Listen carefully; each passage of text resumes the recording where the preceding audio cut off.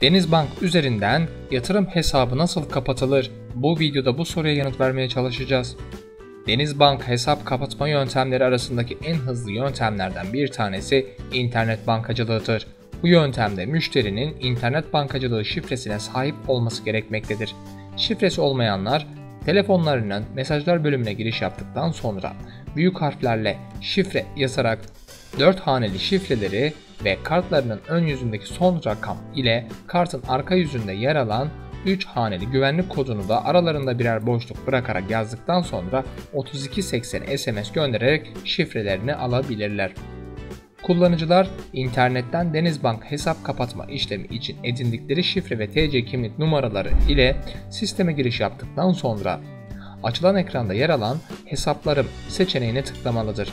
Kapatmak istedikleri hesabı seçerek ilerlemeli ve alt taraftaki hesabı kapat butonuna basmalıdır. Hesabın borcunun olmaması ya da tek ana hesap olmaması halinde hesap anında kapanacaktır. Umarız bu video sizler için yararlı olmuştur. Videoyu beğenmeyi ve kanalımıza abone olmayı unutmayın.